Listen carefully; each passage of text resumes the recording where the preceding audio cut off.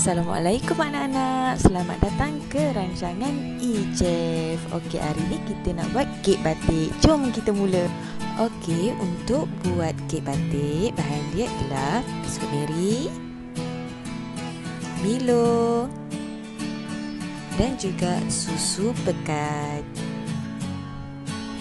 Okey, step pertama, anak-anak hendaklah patahkan biskut Mary seperti di video.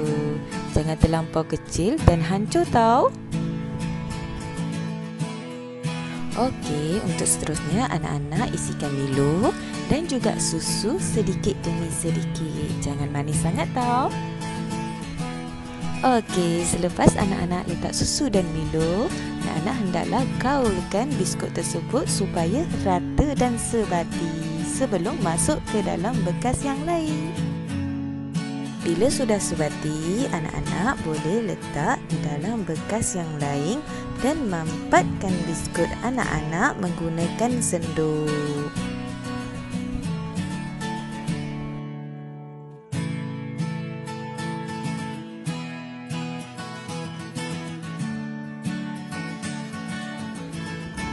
Okey, setelah mampat, anak-anak hendaklah simpan biskut di dalam peti dalam beberapa minit sebelum makan.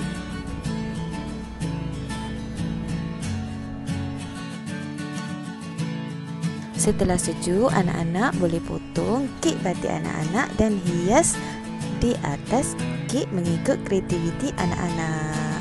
Okey, selamat mencuba.